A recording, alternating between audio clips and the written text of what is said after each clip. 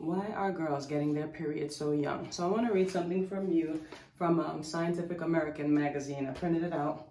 And it says that Megan was heartbroken that her seven-year-old was menstruating, but not completely surprised. She had begun to notice her daughter's body odor when Josie was six.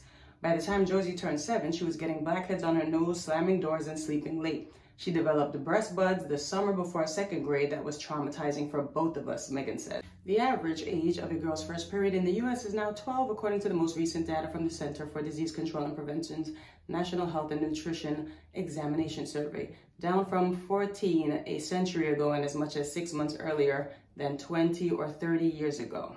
Menarche is instead triggered by the change in a girl's estrogen levels. The most probable explanation for why periods and breast development might be happening younger is that girls tend to weigh more today than they did a generation ago. And this higher body fat percentage is leading to early activation of the pituitary gland, which produces the hormones responsible for puberty.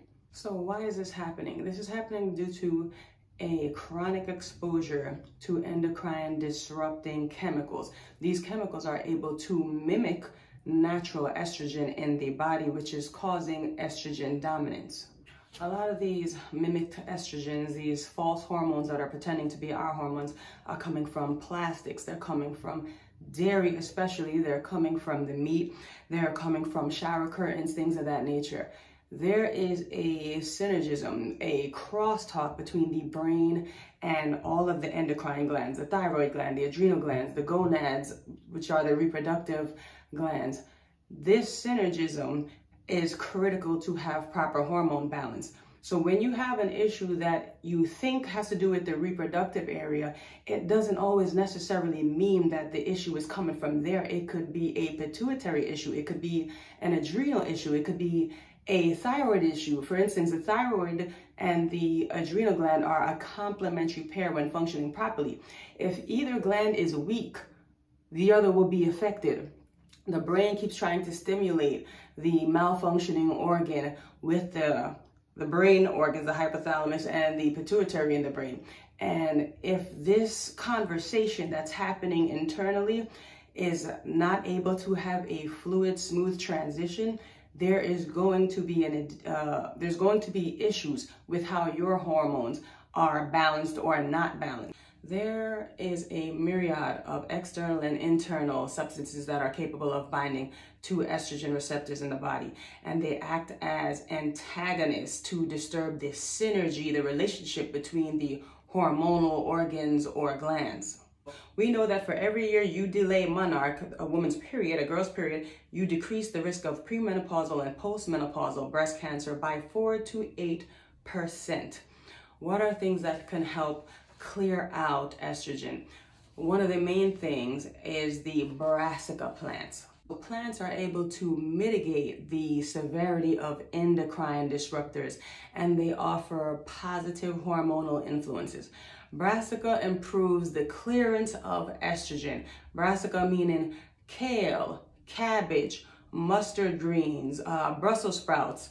If you are in the age of alkaline, this conversation is not for you. I still do enjoy Brussels sprouts. And the, the reason that the brassica family is so excellent at clearing out estrogen is because it has a chemical called, a natural chemical called sulforaphane. And sulforaphane is formed when cruciferous vegetables such as Brussels sprouts or kale are blended and chewed. But the only thing is that you have to be aware of is brassica or cruciferous vegetables are not good if you have an underactive thyroid because it contains thyroid inhibitors called goitrogens. So all in all, many hormone receptors are regulated by diet, stress, the thyroid and adrenal hormones, um, the sleep patterns, and this from the age of eight or sometimes in utero, depending on the mother's diet, this is going to create something for the child's life. These issues that a lot of women are facing now with PCOS, fibroids, endometriosis, a lot of them are not things that just started when you became 25 or 35 or 40. These are things that have been happening since that you were seven, eight, or 12 when you get your early menses.